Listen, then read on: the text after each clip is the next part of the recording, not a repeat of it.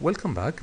In the previous video, in fact in the previous two videos, we explained the uh, roulette wheel selection method and we saw Java implementation of it. Now, that method will have a problem and you have probably noticed it. The problem is what happens when we have um, members with very very high uh, fitness values compared to other members. What happens is those members will cover most of the roulette wheel and the unfortunately for the other chromosomes or for other for the other members because they will cover very small areas they will have much much smaller chances of being selected. Right if you look at this uh, picture here this guy for example this chromosome happens to cover most of, of the area and therefore he has a much much much larger chance of being selected than for example this one or this one right? So if the best chromosome fitness is 90% of all the roulette wheel then other chromosomes will struggle to be selected. Will have very few chances to be picked up right?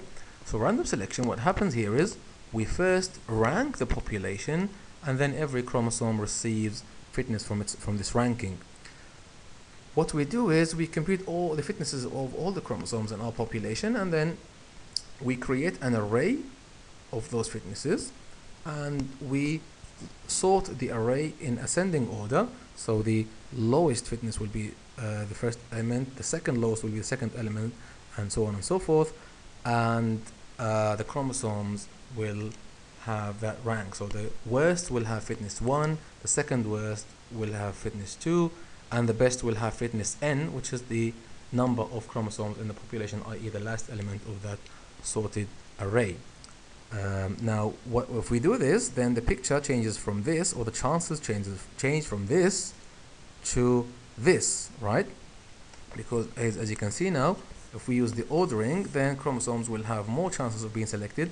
But again here we would be slightly unfair to the ones with the big fitness and that could actually cause the convergence i.e. finding the solution to take more time to be slower why?